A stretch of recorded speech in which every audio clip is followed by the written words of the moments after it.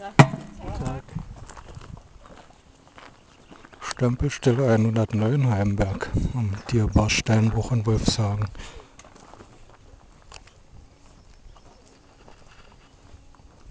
Ja, müssen wir nichts vergessen. Jo.